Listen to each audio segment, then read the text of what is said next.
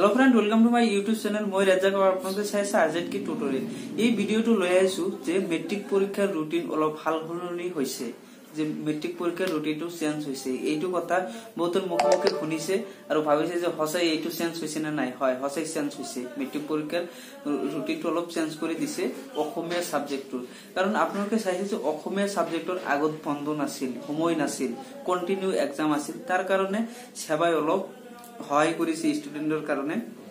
যে মানে অসমীয়া ছাবজেক্টটোৰ আগত এদিনো বন্ধ নাই সেইকাৰণে অসমীয়া ছাবজেক্ট ডেটটো সলনি কৰি পেলাই সেইটো আগত কিছুদিন বন্ধ দি দিছে। আপোনাৰ সেই ছাব্বিছ ফেব্ৰুৱাৰীৰ এক্সাম আছিল যিটো অসমীয়া ছাবজেক্ট আছিল সেই অসমীয়া ছাবজেক্টটো আপোনাৰ ছয় মাৰ্চত অনুষ্ঠিত কৰিব আৰু সেইটো পিছুৱাই দিছে অলপ ছাত্ৰ ছাত্ৰীৰ কাৰণে সুবিধা কৰি দিছে যে অনলি অসমীয়া আৰু বাকী ৰুটিনখিনি চব ঠিকে আছে অনলি অসমীয়াৰ ডেটটো অলপ চেঞ্জ কৰি দিছে। কাৰণ অসমীয়াৰ আগত এদিনো বন্ধ নাছিল সেইকাৰণে ছাত্ৰ ছাত্ৰীৰ বাবে অলপ সহায় কৰি দিছে যে ছাব্বিছ ফেব্ৰুৱাৰীৰ পৰিৱৰ্তে ছয় মাৰ্চলৈ এক্সামটো দিয়া হৈছে। তো একো চিন্তা কৰিবলগীয়া নাই। আগৰ ৰুটিনে হৈ যাব।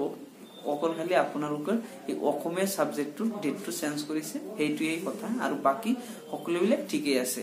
তো আজিৰ ভিডিঅ' ইমানে যদি ভিডিঅ'টো ভাল লাগিছে লাইক কৰিব আৰু এতিয়াই আপোনাৰ ফ্ৰেণ্ডৰ লগত শ্বেয়াৰ কৰি দিয়ক এই নিউজটো কিয়নো এই ভিডিঅ'টো বহুত ইম্পৰ্টেণ্ট হয় আৰু ৰুটিন চেঞ্জ হোৱাৰ কাৰণে। তো এই ভিডিঅ'টো আপোনালোকৰ ফ্ৰেণ্ডলৈ এতিয়াই শ্বেয়াৰ কৰক।